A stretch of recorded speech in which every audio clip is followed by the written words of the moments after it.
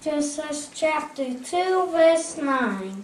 And out of the ground made the Lord God to grow every tree that's pleasant to, to the sight and good for food. The tree of life also in the midst of the garden, and the tree of knowledge of good and evil. Amen.